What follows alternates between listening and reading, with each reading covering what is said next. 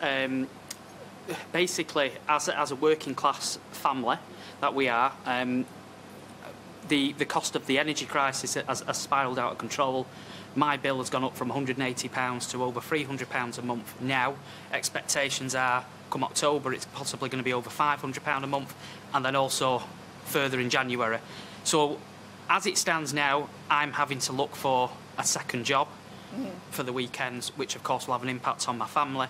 So, what are you going to do to help me as a working class person and everybody else? But also, another part to my question is I work within social housing and I'm a manager within social housing. And part and, and parcel of a lot of the issues and the distress that our tenants are being caused is because of mm. the energy it's crisis. that bad he needs a second job. So, yeah. what, what are you going to do to help everybody, really? Well, first of all, I completely understand how difficult it is and that families are struggling at the moment with the cost of food, with the cost of energy, which has been going up.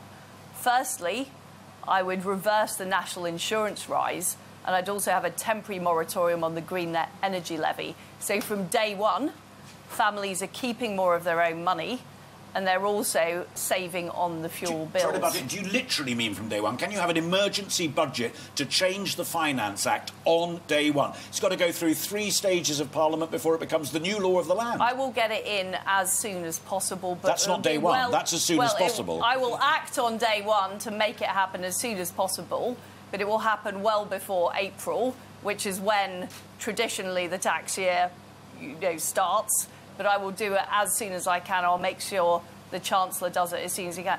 And my fundamental approach is that we need to keep taxes low. What we shouldn't yeah. be doing is taking money from people in taxes and then giving it back to them in benefits. Neil, do you want a bailout now, or do you want Truss's tax well, cuts by April? That's not all I'm going to do, uh, Alastair. No, no, so you well, haven't let me I want, finish That's a big thing to say, and I, I want his reaction. I need something now. Mm. And I think people need something now. That's we a fault line in your campaign with Rishi. Wait.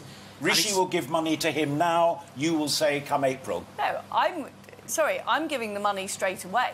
But I'm what I'm about is about people keeping more of their own money and not taking it in tax. But you're opposed to I'm handouts. You're, having, you're, on the record as saying uh, you're opposed uh, to handouts. I've also said that I will have a temporary moratorium on the green energy levy, yeah. which will save everybody money on their fuel bills. But what we also have to do, Alastair, is address the root cause of why energy costs are so high. That's why it's important we stand up to Vladimir Putin and end this war in Ukraine. And that's why it's also important that we work with the energy companies to bring the prices down. And that is, I'm going to deal with supply. I'm going to help bring the prices down so we reduce the cost. Because if the only answer to everything is to whack up taxes and give out more benefits, then the country is going to run into trouble. And the fact is, we are predicted to have a recession. Right, Neil. And it's important that we grow the economy. Rest your legs but, a minute. But I want to say to Neil that I will do everything I can to support working families who work hard and do the right thing. And if I'm elected as your Prime Minister, I will make sure the Chancellor has an emergency budget and looks at this issue in the round and sorts this issue out.